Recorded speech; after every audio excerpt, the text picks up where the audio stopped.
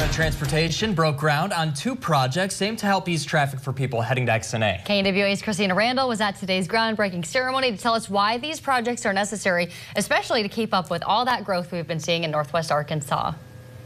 Phase two of the Springdale Bypass and the XNA connector kicked off Wednesday morning. The first part is the uh, west end of the Springdale Bypass, which actually goes from 612 over to west of Town. And the second piece is the airport connector road.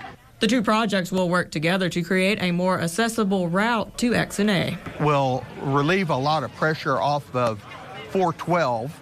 If anyone regularly travels Highway 412 in Springdale, uh, you understand the need for this uh, for this project for 612 to be completed.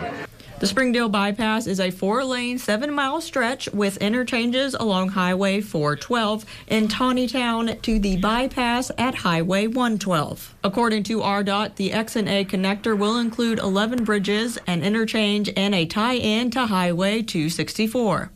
Springdale Mayor Doug Sprouse says these projects will help NWA keep up with the growing population. You know, the world's coming to Northwest Arkansas now, and uh, and we're we're a big part of that, being Springdale right in the heart of Northwest Arkansas, and uh, and we look forward to, to making further improvements, trying to stay ahead of the growth the best we can. According to Philip Taldo, Commissioner on the Arkansas Highway Commission, Northwest Arkansas metropolitan area is now the nation's 100th largest metro area area.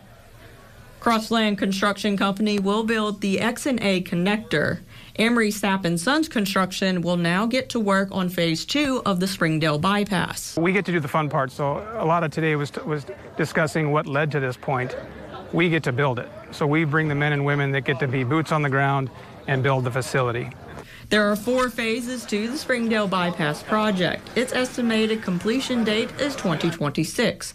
XNA Connector's estimated completion date is 2027. Christina Randall, KNWA, Northwest Arkansas News.